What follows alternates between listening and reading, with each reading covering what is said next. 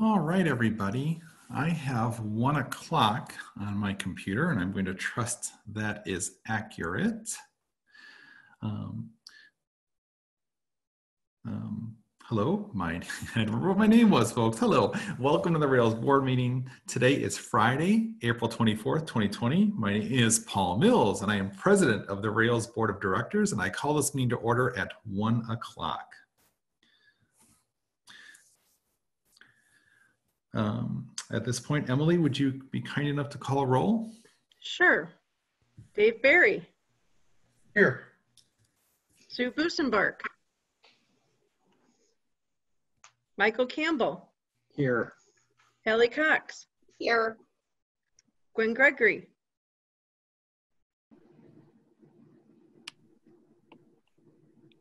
Gwen, I know you're there.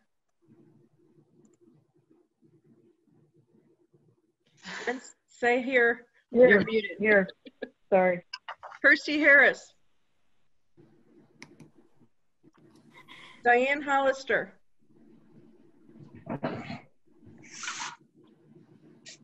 Diane, Here, here, can you hear me? I got you now. Sarah McHone-Chase, Here. Paul Mills, Here. Jenna Nemec Louise, Here. Scott Poynton, Here. Dee Runnels. Nadia Shake. Here. Thomas Stagg. Here. Dee Runnels, you're not on? Okay, we have a quorum. Thank you, Emily. Um, a few uh, housekeeping things since we're doing our first full Zoom meeting as a Rails board. Um, when speaking, especially when you're making a motion, please state your name so that we all know who's speaking and we know who's making the motion and so we'll have an accurate recording. Um, we are going to do guest introductions a little differently. Um, Emily will read the names of the guests who are participating um, via Zoom. Folks, after Emily finishes speaking, um, if Emily has not read your name, um, please state your name and your affiliation, or you can put it in the chat um, just so she can read it and um, add it to um, the minutes. Emily? You're muted, Emily. Okay, ready? Yes, we are. Myself, Emily Feister Rails, Brian Hebel Rails, Ann Slaughter Rails, Monica Harris Rails, Stacy Palmisano Rails, Deirdre Brennan Rails, Jim Krieger Rails, Joe Filapek Rails, Mary, Mary Witt Rails, Mark Hatch Rails. And I believe that is it. Did I miss anyone?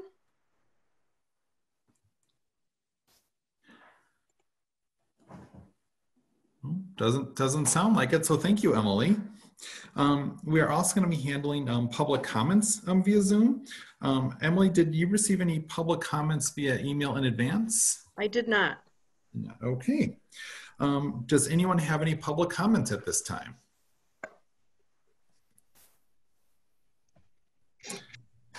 Any any public comment? No, okay, sounds like we don't. So we'll move on to adoption of the agenda. Um, may I have a motion and a second for adoption of the agenda as presented? Make the motion. It's Nadia. Thank you, Nadia. Second, Sarah McHone-Chase. Sarah, thank you, second. Um, any further discussion about the agenda as presented? If not, Emily, would you do a, well, I think just because we are doing this via Zoom, why don't we do a roll call vote? So if you do a roll call vote for that motion, please. Sure. Dave Barry? Yes. I, I'm just gonna call everybody in case they are joining whenever. Sue Busenbark? Michael Campbell? Yes. Hallie Berry? Cox. Hallie Cox. Yes. Sorry, I'll take Hallie Berry though. you know what? That's how I know how to pronounce your name. I know. You're not the first and you won't be the last. So Hallie Berry is not here, but Hallie Cox is. Yes. Okay, great. So Gwen Gregory, Yes, Percy Harris. Diane Hollister. Yes. Sarah McHone-Chase. Yes. Paul Mills. Yes. Jenna Nemec-Loise. Yes. Scott Poynton. Yes. Dee Runnels. No, she's just, wait, hold on, I'm just letting her join. Okay. There she is, Dee Runnels.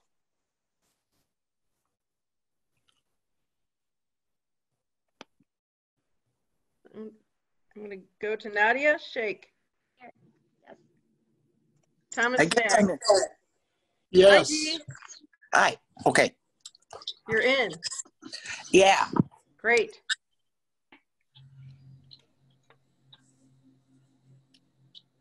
All set. All right, thank you, Emily. Um, the next items we have are the approval of the Rails board minutes, the financial reports, and expenditures. Um, first, we have the Rails board minutes of February 21st, 2020, which was a long time ago in a, in a different world too, as far as that goes. So with that, may I have a motion for approval of the minutes of February 21st, 2020 Rails board meeting? So moved. David. Barry. So Scott, so Scott Second. made the motion. I think I heard Dave Barry for a second. Um, any changes, additions, or corrections to the minutes as submitted? If not, um, Emily, again, can I have a roll call vote for this, please? Sure. Dave Barry, Yes. Sue Busenbark. Michael Campbell, Yes. Hallie Cox, Yes. Gwen Gregory, Yes. Percy Harris. Diane Hollister.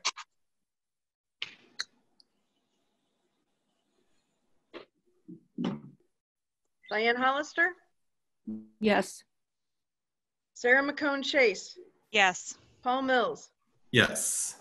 Jenna Nemec-Loise, Yes. Scott Poynton, Yes. Dee Runnels, uh, abstain, Nadia Shake. Yes. Thomas Stagg. Yes.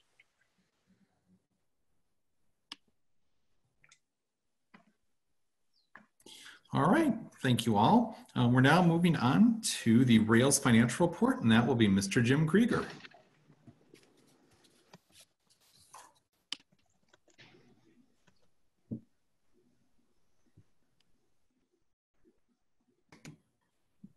Do we still have Jim?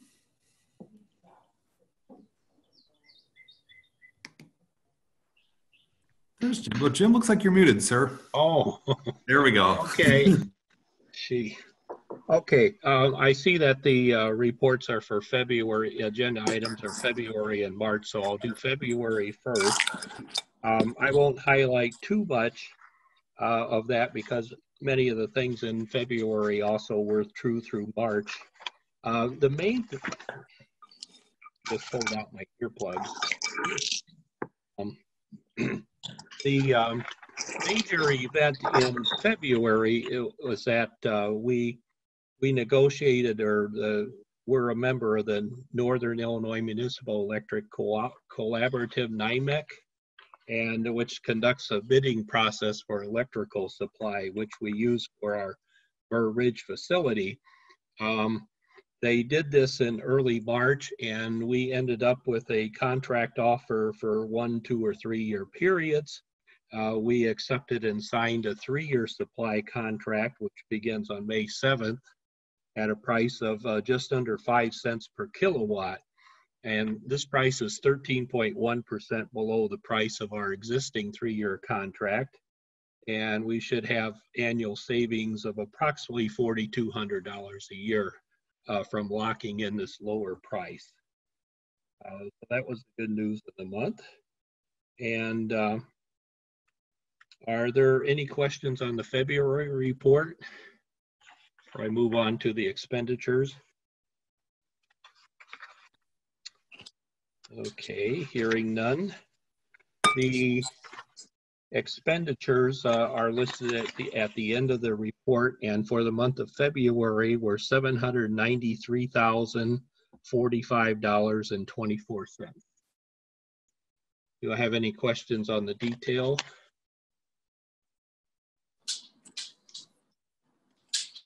Any questions for Jim?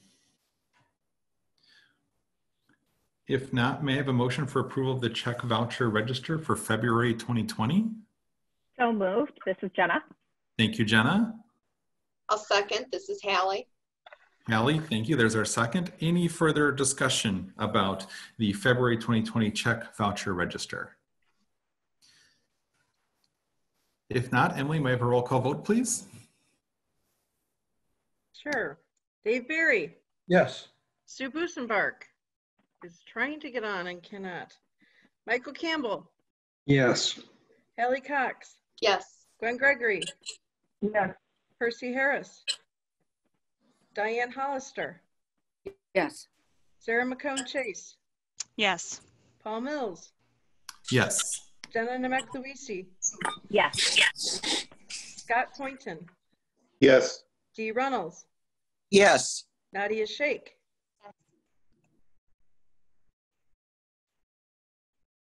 Nadia Shake, Yes. and Thomas Stagg. Yes. Okay. Thank you, and I will move on to the March report. I'll say more about this one. Um, Excuse me, Sue Busenbark, you just joined? I did. Can you hear me? We sure can. Okay, I'm Okay. here. Thank you. Sorry, Jim, go ahead. No problem. Um, Our March um, unassigned general fund cash uh, was 16.1 million at the end of the month, and that would fund an estimated 17.1 months of operations.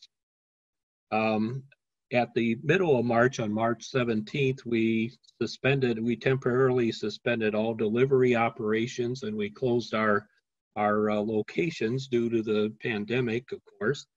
Our administrative uh, employees are working from home.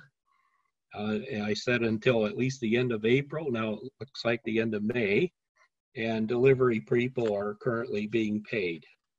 Um, our general fund revenues through March uh, went uh, below budget uh, for the first time in quite a while, 851,000, as we haven't uh, received any uh, APC area per capita grant payments since January 9th.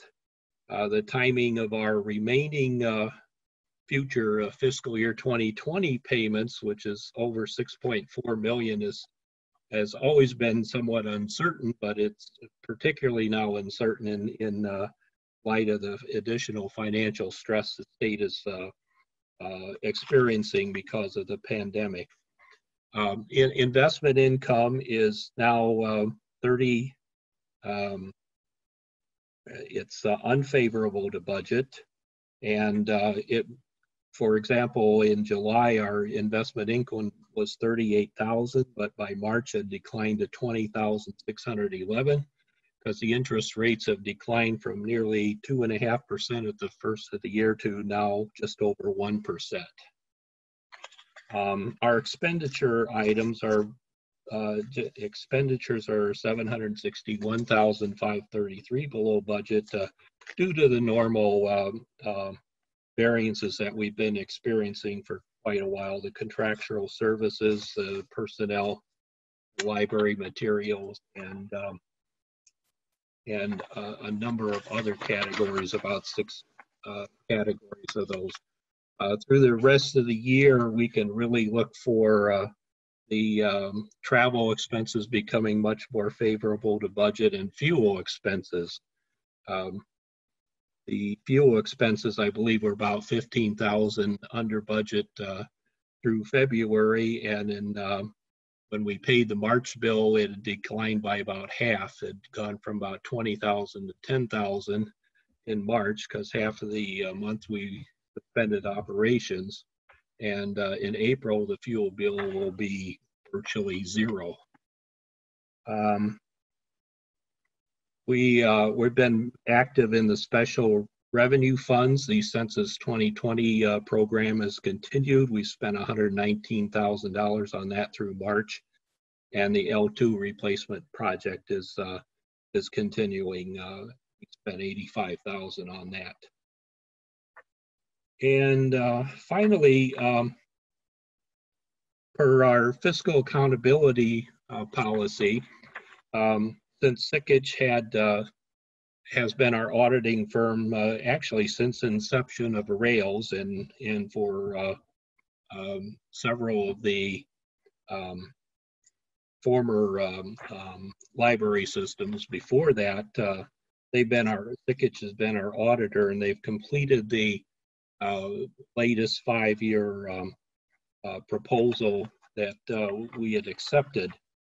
And um, our fiscal accountability policy requires that we go out for bid and, and uh, just kind of check the market. Uh, We did that uh, in uh, late February and March, and we received four proposals. um, All from very good auditing firms, uh, Sikich, Lauterbach and Amen, Baker and Tilly, and Selden Fox. Uh, We went through an evaluation process, uh, first of their um, uh, credentials, and, uh, and then we looked at the prices, and uh, we are, we are recommending uh, that we um, switch our auditing firm to Lauterbach and Amen, which came in with a very, very competitive bid. uh, uh, Not quite the lowest, but right down there. But they also do, uh, already, they uh, audit over 45 libraries and they have a very, uh, uh, they've become very uh, dominant uh, in governmental uh, accounting and auditing libraries. And uh, they uh, submitted a very competitive proposal, which is about around 3,000 a year lower than what Sikich proposed, even though Sikich actually lowered its price from, uh, from what we were charged last year. Uh, But uh, we have worked with uh, Lauterbach on the uh, Swan and Prairie Cat accounts already. And I have had experience working with them with Limerick and uh, uh, it's been very positive. So we think they're a very competent firm. Uh, Sikich actually did score the highest, um, and they are a they are a great firm, and we've enjoyed working with them. But uh, um, with the lower price that Lau- Lauterbach can offer and very good quality, uh, we think it's uh, time to do an auditor rotation. So we would uh, we're proposing to go ahead with that. Do you have any comments on that?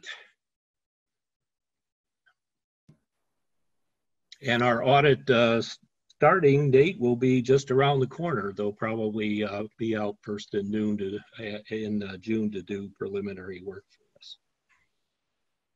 So do I have any questions on the uh, report? Or we move on to expenditures? Not so much about the, the report, about when do you want a motion uh, to approve the new auditors, Jim? Well, we didn't really uh, have a, uh, a resolution or anything for that. It's uh, informational. I did want to get uh, if there were any objections, but uh, uh, it's just a uh, informational type thing, Thank you. if that's okay. Yes. Okay. Jim, this is Jenna. I just want to say thank you so much for all of your work in, in vetting potential auditors and, and putting together all of that um, for us and, and for finding something that is um, really going to be workable for us moving forward. So I appreciate all of your work on that. Thank you. And we, our, uh, our review team consisted of uh, two of my accountants and myself and Monica was part of it. We had, we did have somebody outside of finance uh, take a look at the proposals also, but we all reached the same conclusion. Okay, um, moving on uh, to the expenditures for the month of March, which are contained towards the back of the report. The expenditures were seven hundred eighty-one thousand sixty-one dollars and twelve cents.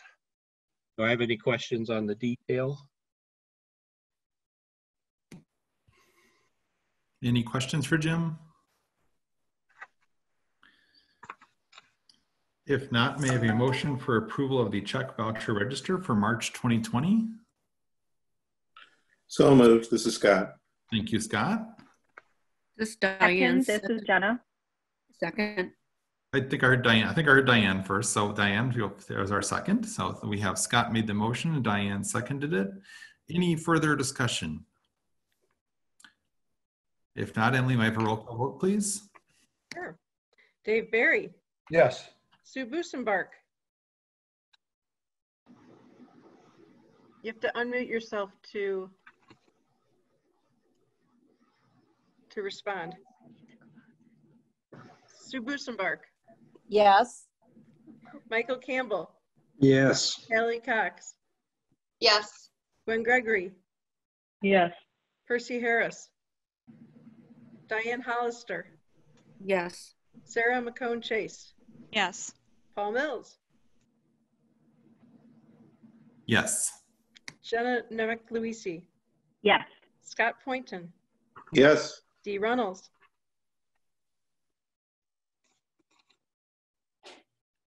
D. Runnels.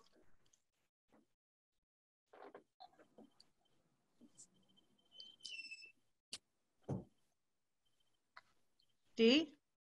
Yes. thank you. Nadia Shake, Yes. Thomas Stagg, Yes. thank you. Okay, thank you. Thank you again, Jim, and thank you, Emily. Emily, Emily's doing lots of roll call votes today. Um, and of course, those reports, speaking of audit, will be filed for audit. All right, we're moving on to reports. Um, first, we have a report from the Rails president. Um, needless to say, this has been an extraordinary time for our Illinois libraries and for the state of Illinois. Um, I am, you know, very proud to be an Illinois librarian. I'm very proud with what I think our library community has done to serve our communities virtually. Um, in my role as Rails board president, I'm also very proud of the leadership and advocacy role that our regional library system has take as we move through um, uncharted waters. So, and I thank you all for being a great board during this very, very difficult time. I think our support for Rail staff and the work they're doing is just incalculable in making life better for the citizens of our state. So thank, thank you all. Um, we move on to our um, committee reports and we have advocacy committee. Michael, do you have a report from advocacy? I do. Thank you, Paul. Um, the advocacy committee met this week and um, we met virtually just like everybody else. And um, so we had, um, we even had Percy who is joining us and his busy schedule who couldn't be with us today. Um, and um, uh, Sarah and Jenna and Tom, uh, Deirdre, Mary, um, and the rest of the team joined us uh, virtually. Um, we did go through several things. Um, we had, uh, uh, the committee had submitted a program submission for ILA as well as for IELTS. Um, so we have uh, submitted a program for that for the fall, whatever format those conferences may take, uh, via virtually or in person. Um, as well as uh, we had several other ideas about um, ways that uh, we could encourage. Um, there's a trustee forum um, uh, uh professional development uh, for trustees this next week um, that was uh, that was happening, I believe, was going to happen in Oak Brook, but now is going to be happening via webinar this next week. Um, and then um, one of the things that we uh, chatted a little bit about was our um, having something like a, a, trustee virtual cocktail hour uh, via Zoom. Um, and uh, for people to uh, share ideas about, uh, you know, ways to, um, you know, things that were going on at their library during shutdown and things like that. So, um, so those were some of the ideas that came up about ways that they could uh, share resources between school libraries and public libraries, especially during, um, you know, the budget crisis that we all look forward that's going to be happening, um, things like that too. So it was a, a good meeting, um, and uh, our next meeting is um, May 20th.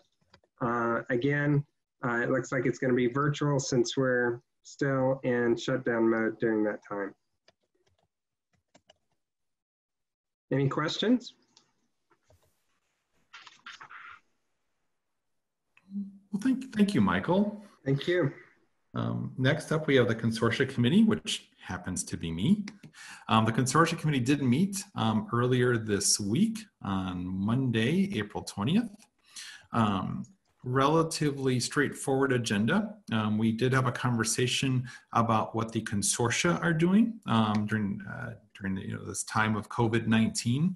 Um, good conversation about what the consortia are looking at doing, how they are collaborating within the consortia for figuring out, you know, how to make sure things are going as well as they can while libraries are physically shut down, and also planning for what the world will look like um, once we figure out how, you know, a reopening of our physical spaces um, will be. Um, we also had a conversation. Um, Ann Slaughter did a presentation on the FY um, 22 LSAP support grant formula. Um, as I think we've had conversations in the past, Rails has been diligently working to make sure this is a data-driven and transparent, transparent formula for how um, Rails supports um, this very important resource sharing that goes on in our state. Um, lost my train of thought there. Did anyone have any questions about that? Anne, is there anything you would like to share about the formula at this time? Um, I'll just say that the formula will be um, included in the application that we send to those LSAPs for their fiscal 22 um, LSAP support grant. We typically send that May 1st, but we're delaying it this year and sending it June 15th. Um, and then uh, we'll keep you posted on the progress there. But their applications will be due on September 1st, and we'll use the fall to determine what their awards will be. So that's, you'll see kind of the results of that in the fiscal 22 budget. We work pretty far ahead on this one. Thank you, Anne. Um, I should note we had a conversation, which was an important point that, you know, the, the LSAP grant funding is, of course, you know, as an ever-present conversation dependent upon what state funding.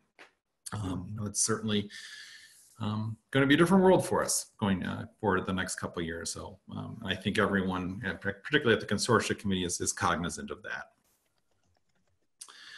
Um, moving on, um, unless there's any questions about consortia committee. Okay, moving on, we have the executive committee. The executive committee um, has not met, so that makes that easy. Um, Gwen, policy committee. The policy committee has not met. That makes that that makes that easy too. Um, next, we have the resource sharing committee, and that would be Deirdre. They have not met. Sometimes these committee reports do go relatively straightforward. Um, Sue, um, Universal Service Committee.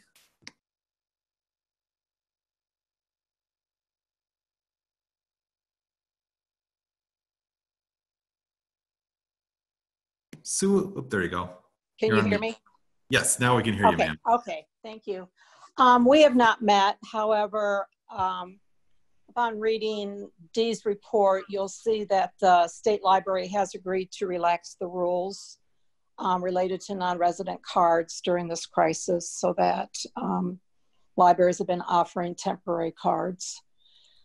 Um, the only, and of course, there is um, quite a bit in the operational plan about universal service. Dee, do you have anything to offer or to? Uh, I don't think right now, you're absolutely right, Sue, though. The, uh, the state library did relax the rules and uh, some, not many libraries are taking advantage of that. Um, that's about it. Okay, Thank you. yep, thank you. Thank you, Sue.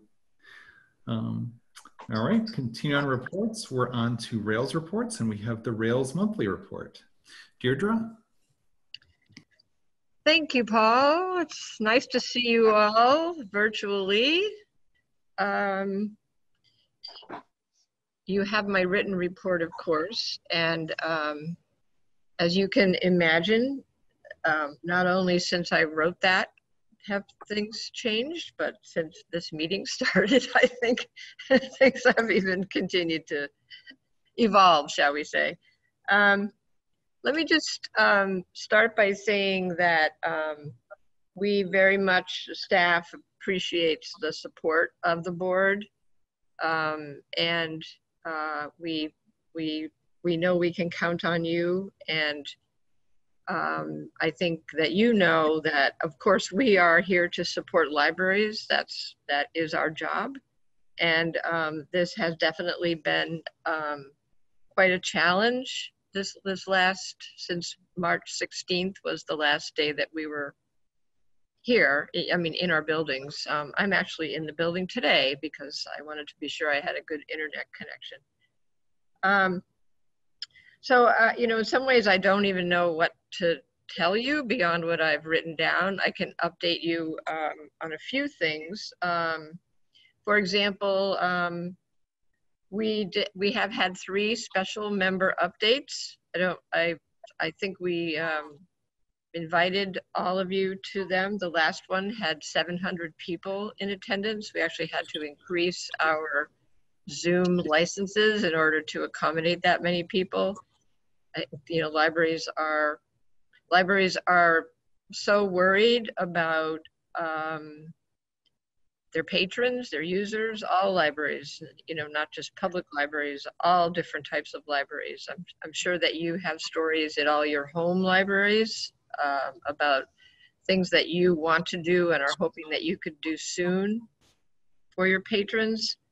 Um, you know, our role has been to try to provide guidance in terms of, of helping libraries to think about what they should do in terms of, you know, first it was about closing and how to close and for how long. Then it was about staffing. Um, then it became about, you know, um, you know, questions about furloughs, unemployment. Then it became um, about, uh, you know, curbside service and reopening plans and you know, concerns about future funding. And um, so um, it is an ever changing um, situation. There's no doubt about it. Um, we, you know, the, the governor's order extending the stay at home uh, order, uh, you know, just, you know, brought up a whole bunch of other stuff. And just, and I did send you the opinion that our attorney gave us, Julie Tappendorf, that she did give us today. Um, with the um, caveat that uh, she hasn't actually seen the official order. She's seen the pre-filing, I guess, but it's important to, you know, as she said to me, it's not good lawyering to be opining on something that you haven't read yet. Makes sense to me. Um, but um, but she did tell us that you know remind us, and I actually I think uh, was a good was a good reminder. You know, libraries are not closed. This is from Julie because we're not essential. We're you know in most cases, in all cases, I guess we're closed because boards chose to close libraries. It was not it's not a we're not a business we're a government entity. So very important to keep that distinction in mind when you read the governor's order, um, the pre-filing. There is actually a, a, a specific Q and A in the in the the order that does exactly lay that out. That libraries are governmental entities, and it is up to the entity to determine what service is essential.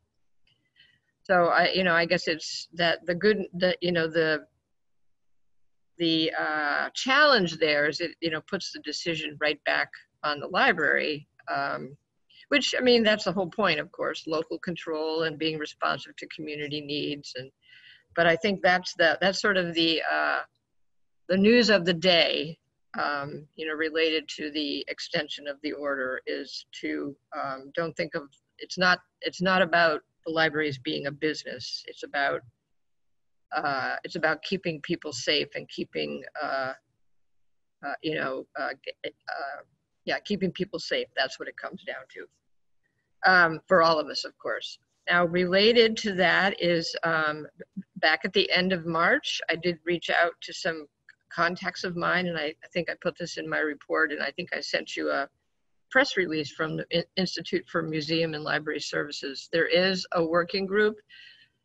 Uh, the steering committee had their first meeting this morning, and um, there's about 12 of us or something on the steering committee and it's from all it's from the library world the museum world all different types of libraries um, even you know some uh, the uh, the secretary general from ifla because of course this is a global issue and they have put together a team um, that uh, Battelle, which is B-A-T-T-E-L-L-E, is working on, um, and what IMLS's goal is, is authoritative, fact-based science on uh, making sure that materials are clean and safe for people to use so that we can safely assure our libraries and our users that they can, you know, come back into our buildings or, or use our materials through curbside, um, uh, you know, be in our spaces because the, the the, the difference in our industry is that it isn't a case of like going and picking up food at a restaurant and then you bring it home and you're done. It's a case of, you know, you pick up the book and then you bring the book back and where has the book been and it needs to be cleaned and how do you clean it and what kind of equipment do you need to protect your staff while they're cleaning it. You get the picture, I think. It's uh it's the wonderful nature of our business is that we don't throw things away after they're used once. we recirculate them, we reuse them, we share them. But in this kind of a situation, that's an added uh, complexity, I guess. So um, uh, let's see, what else should I tell you? There, you'll if you look at the Rails monthly report, um, you will see that there ha has been, especially the part about uh, preparing libraries for the future, an enormous amount of um, of webinars and you know virtual training and meetings and just incredible amount of stuff that's uh, being uh, information and you know the ability to connect that's being offered to our members. And i think they've been very appreciative. The website that the team put together on the the pulse page on the covid-19 the pandemic is is really unbelievable. It's got so much stuff there. Uh, uh, mary and stacy and monica have been the the, the go-to people on that and they just posted today this fantastic document about uh, guidelines for curbside service. And it's really um, what i like most about it is that it um, it doesn't try to say that these are answers because nobody really has any answers about much yet but it it it gives libraries the questions that they need to be asking themselves to be sure that they're keeping their users and their staff and their uh, you know safe and that their materials are clean. So i definitely direct you to look at that. And there's more coming this month. I know that um, joe already has some uh, some uh, training in the works with um, hr source related to um, staffing and reopening um, and um, what, let's see.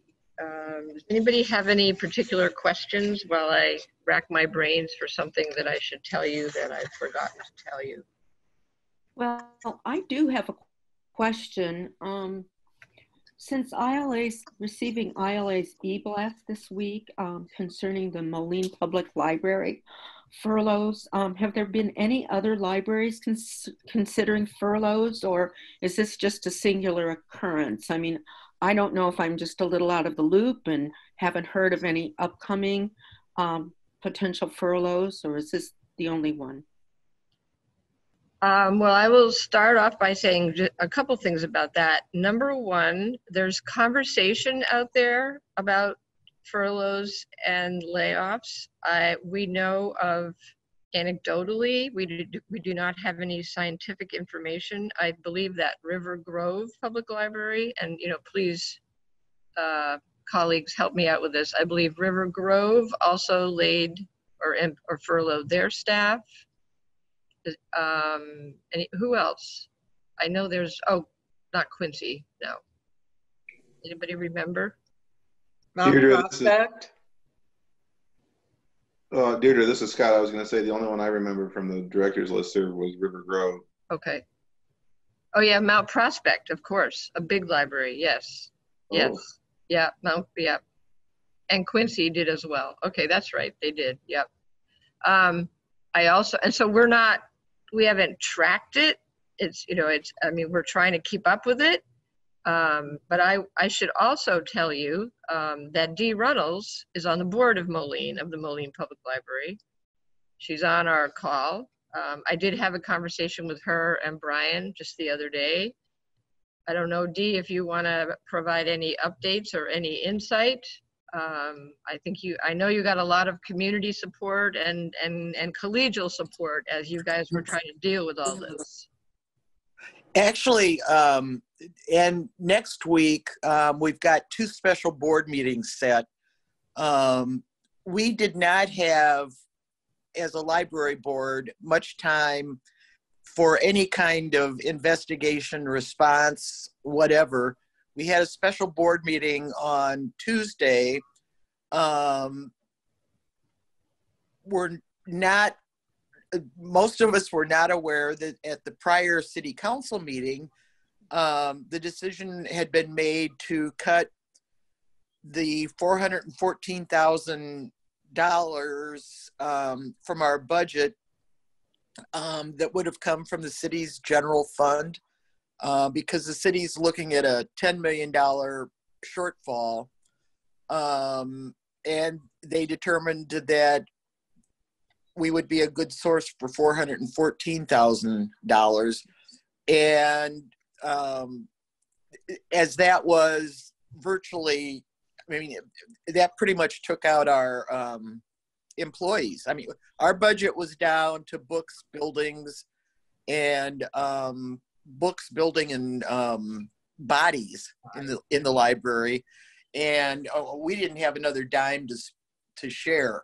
Um, so all that's being offered in Moline here now is um, patrons access to, you know, books online and, and, and that kind of thing.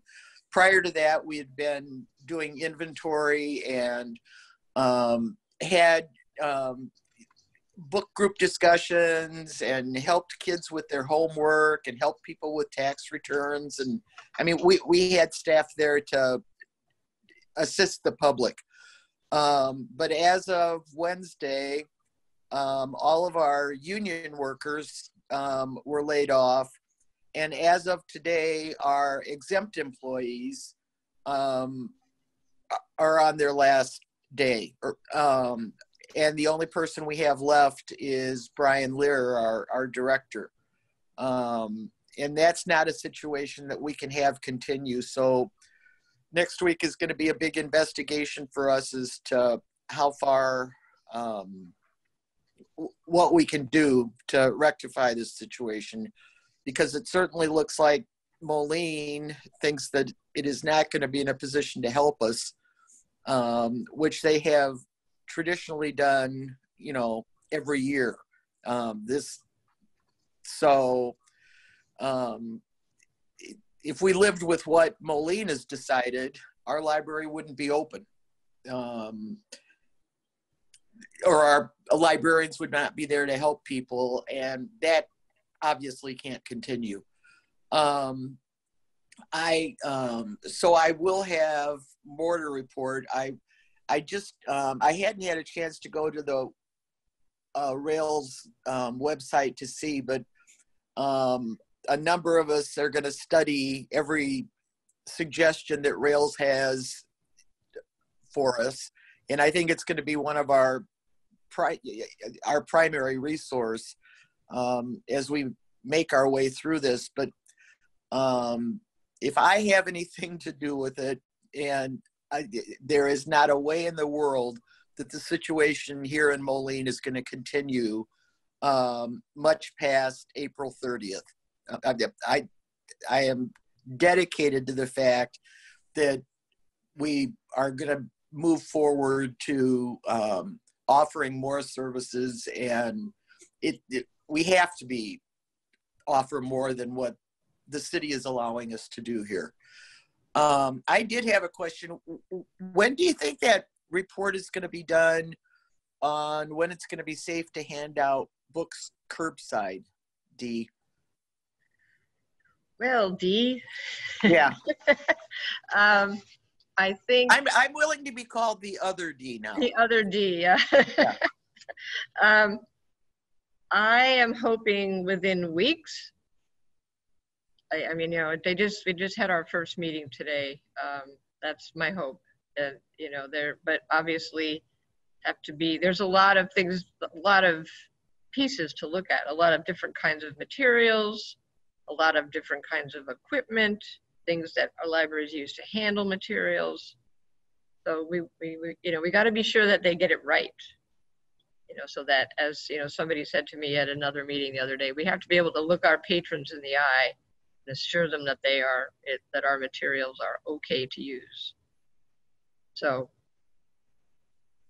it'll take as long as it takes, I guess. We just have to hope that they do it as fast as they can.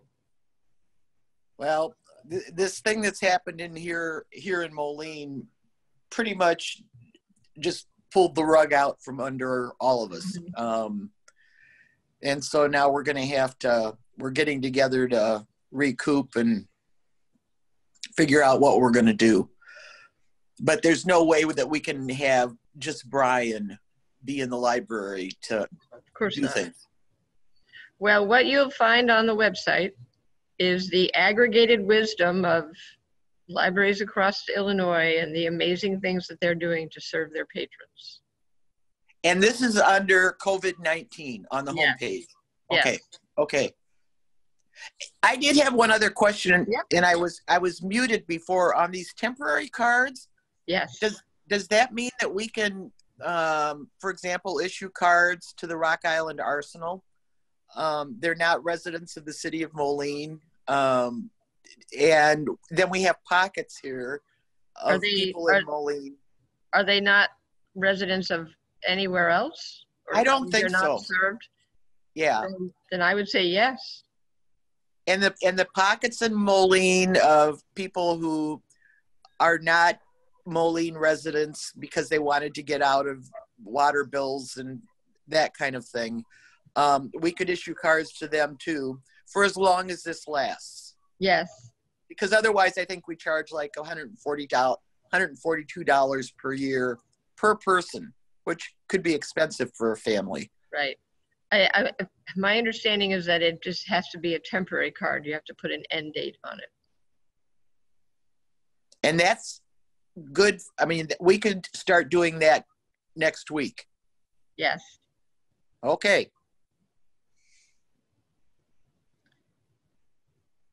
So, um, yes, so moving along then, I did just a few other things, um, just to be sure that you, um, you do, uh, understand all the things that everybody's been doing. We've been doing surveys to find out about virtual services that libraries are offering so that we can then share that out, like with Moline. Um, coordinating libraries' uh, uh, 3D printing efforts to help the, the healthcare field. Some libraries are uh, got together the uh, Makerspace networking group and worked with Amita Health out of Hinsdale um, to do that. Um, let's see, uh, a list and map of libraries that are closed, uh, various uh, roundtables and online water cooler events to help libraries, uh, you know, connect with each other. I mean, some of this, as you, I'm sure you know very well, is um, just kind of a need for uh, socialness too. It's very, uh, it's not not always good to be by yourself all the time. You need to talk to somebody else to, you know, get your brain going. Um, and um, I do want to say finally, I guess, that the staff has been incredible. People have been working so hard. And so much as a team. I just cannot um, emphasize that enough. So I want to I want to publicly thank them here. Thank you, staff everywhere. All rail staff have been awesome. And Emily is asking me a question and I don't know what it means. Did I say the wrong thing, Emily, about an expiration date? What did I, s- is that what you're asking me about the temporary cards? No, you did not. I just wanted you to say that and you said. Oh, okay. Oh, okay. Just thinking alike. All right, as always. Okay. So happy to answer any questions or talk about, you know, anything you guys want to talk about related to your libraries or anything that you're wondering about.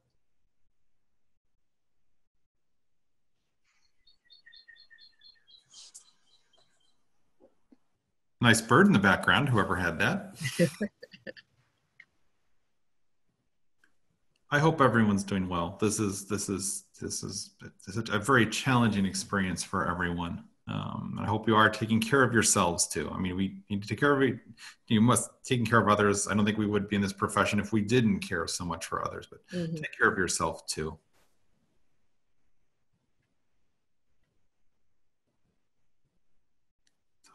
Any any other questions for Deirdre about her report?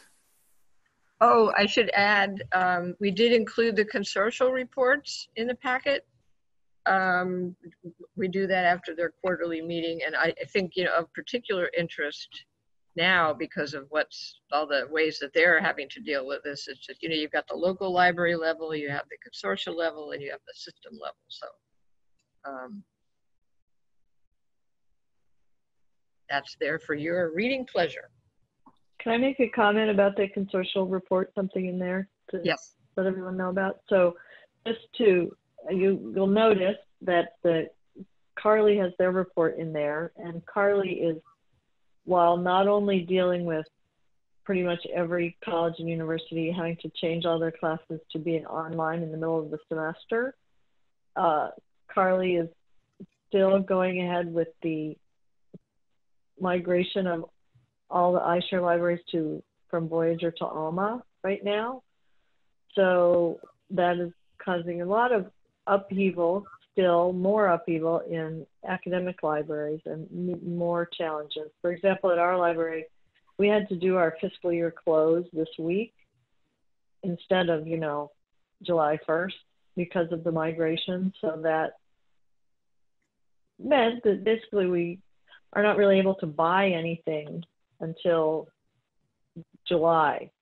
So to support any online learning and things like that, we really can't buy anything. Um, so we're that is something that academic libraries are dealing with right now, in addition to all the challenges of changing to online learning and budget challenges caused by the fact that most colleges and universities had to do things like refund students money for housing or lose other sorts of funding that they had, like any kind of summer events, stuff like that. So colleges and universities are having some serious issues right now. Yes, indeed.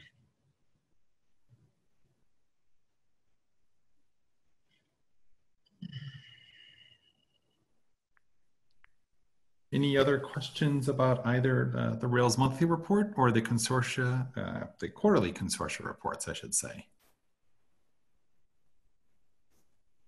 If not, I think we can move on to new business. Um, 8.1, the system area and per capita grant application operational plan.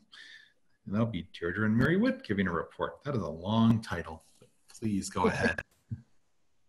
Sure. Um, well, it's a long title for a long document, right? um, so every year, um, and um, I, I should, I will pause to say, Paul, Greg did let me know that they would not be at the meeting. I don't know if he let you know as well. Oh, okay. Yeah, they, he and Karen Egan decided they had to choose between coming to the board meeting and going to a webinar on uh, reopening libraries. So they decided that maybe they should do that. Sure. So Sounds good. I told them I didn't understand why he had to pick, you know, go that way, but whatever. So anyway, um, every year at this time, we put together our budget and our plan of service. And um, uh, as I think you all know, because you, I think you were all here last year, um, the, um, you know, the, the state library gives us numbers and they give us uh, guidelines on what to do. And, you know, it's uh, very much based on what we've been doing, obviously, because um, it's about following the System Act and supporting resource sharing and training and interlibrary loan and professional de uh, development and you know communicating what we do and of course delivery so this year is is no different in terms of the um, kinds of things that we would that we have in our uh, operational plan uh, um, outline. And it is of course very much aligned with our strategic plan as it is every year. Of course, the oddity is that we're doing in the, this in the midst of this completely mind-blowing, unprecedented event, or you know, you know, not just an event, this experience, and really have have um, no, you know, unable to predict what our funding will be um, going forward, as everybody is unable to predict that, whether you're in government or private um, sector. Um, so, you know, nevertheless, um, that doesn't mean we don't stick to our plan. Um, and that when we find out what our funding is, then we ad ad adapt accordingly, as we have in the past when there was a budget crisis and we didn't get any, you know, most of our money for two years. So it isn't like we haven't experienced that before. Um, so um, we will just be agile as we always are when we do find out what it what it is that we will be dealing with budget wise. Um, so I did write a memo that oversee that over gives you an overview.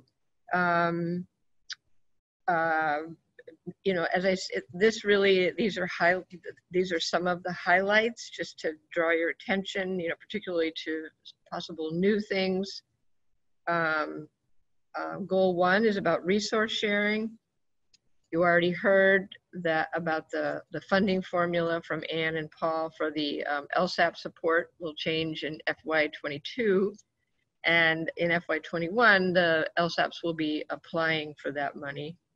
There will also be changes in the administrative rules in FY21, starting in January, um, that will be uh, where libraries will be required to have a plan for how they're going to make their their holdings available via a shared uh, database. Uh, as I told you at a previous meeting, we're going to look at our e-read uh, vendor, uh, Baker and Taylor, and see if we need to make any changes. Um, let's see. Um,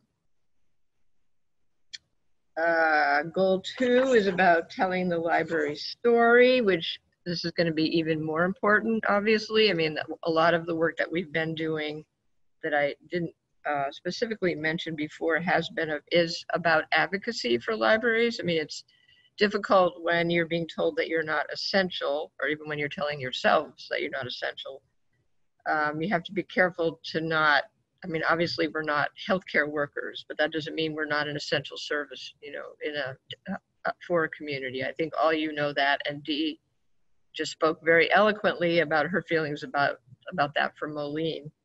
Um, so that's going to be even more of a of an of an important role for us, as is um, helping libraries um, be the best that they can be. I've had it in my mind for a year or so now that we want libraries to start uh, all having a strategic plan, and I think that um, you know something like that might help libraries in the future deal with this kind of a an emergency uh, if uh, you know hoping that nothing like this ever happens again um, as Sue uh, Busenbark mentioned earlier, yes, there's a lot in here about expanding service uh, to the unserved, which with the advice of our board committee and in collaboration with ILA. And um, we are uh, beginning our, as we've talked before, we have uh, we think we have um, identified a, uh, someone to work with us on equity, diversity, and inclusion work for staff and member libraries.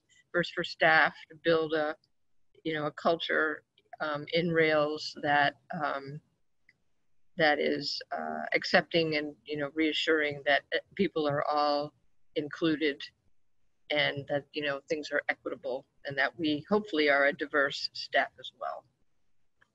So that's not everything, but I think it's the it's the high you know the high points, the the, the big bullets, I guess, and I'm but I'm happy to answer any questions about any of it. And there's a lot of detail in the document.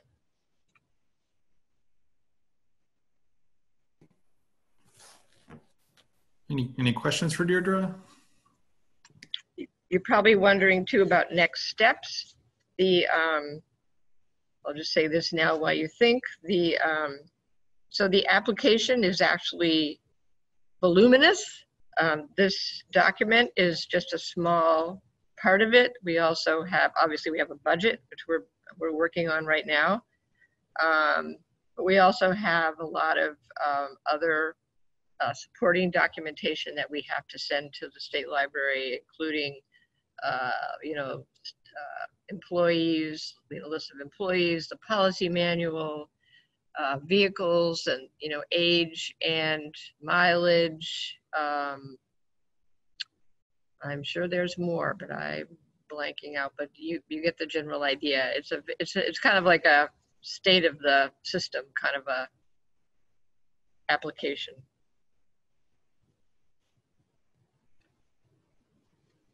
On that note, it also include, includes the statement of economic interest for everyone. Right, yep. So that's a good reminder to everyone who has not had that, who's not completed it, to please complete it. I will send a reminder email and I need copies because we do submit that with this document. Very clever, Emily. Always a good reminder. yep. All right. Well, if we have no questions for Deirdre, I think thank Deirdre, I thank Mary, I thank the Rails staff for putting together what is an impressive document, which must be done. So we will ask you to vote next month, I think, unless the state extends the deadline for some reason or, you know, things change, which God knows things are changing on a hourly basis. Yes. All right. That sounds good. Our next new business item actually is the executive director evaluation. Um, I had a conversation with uh, Gwen, who is, as you may, is our uh, board vice president. And you may recall last year, um, I think was the first time last year, we actually did the executive director evaluation via SurveyMonkey, and that seemed to work really well. Um, having you know an online portal to complete it certainly makes compiling the information easier, and I think it's a uh, just in general easier than working with an MS Word or a, an Adobe document. So um, with that, we have a timeline for the executive director evaluation. Um, the survey link to SurveyMonkey will be sent out after uh, today's meeting, and today is April 24th, because I know sometimes the calendar can be a little amorphous when we're in the, in the situation we're in right now. Um, we have a dead, uh, deadline to complete the evaluation of Friday, May 8th, so that's two weeks to complete the evaluation process. Um, we would then anticipate the results of the survey would be shared with the full board and the executive director on Monday, May 11th. And then on Friday, May 22nd, which is the, the uh, date for the next Rails board meeting, we would actually have an executive session to discuss the evaluation. Um, timeline's designed to give us, you know, two weeks to complete the evaluation. Um, and then uh, roughly a little bit less than two weeks from the time the results are sent to everyone till our next board meeting. Um, I think this type of timeline gives folks plenty of time to complete the evaluation.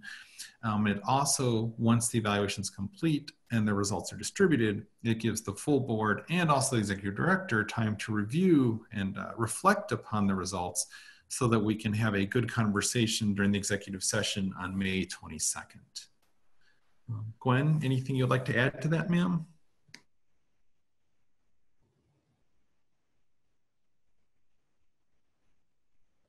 No, I think that uh, it did work very well last year, so um, it seemed to go more smoothly than in previous years, so it was much easier to compile the information so it was made the timeline shorter. I mean, it made it easier to get it all done within that time frame.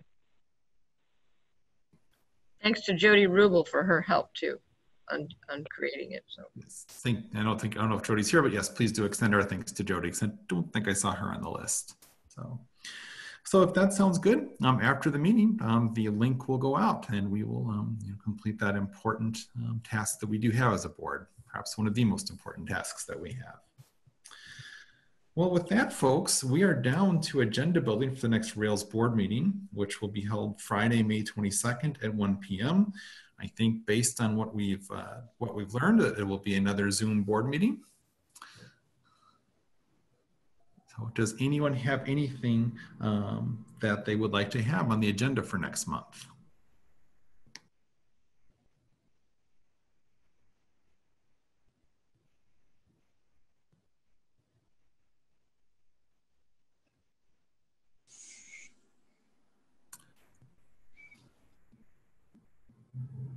Doesn't doesn't sound like we have anything. So I know well, we will you know we will prepare a good a good agenda for May, and we certainly know that the executive director evaluation will be on that agenda as we discussed.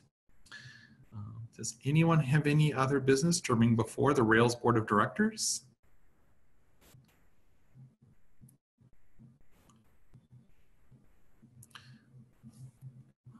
If not, in closing, um, I would like to say particularly, you know, to, to Dee Runnels, you know, um, you know, you are fighting the good fight. You are doing what needs to be done. And if, you know, any of us can help you, I'm sure we would be happy to do so.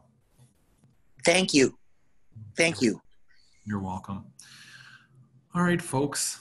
Well, please, everyone take care of yourselves as you continue to take care of others and continue to take care of the citizens of our state.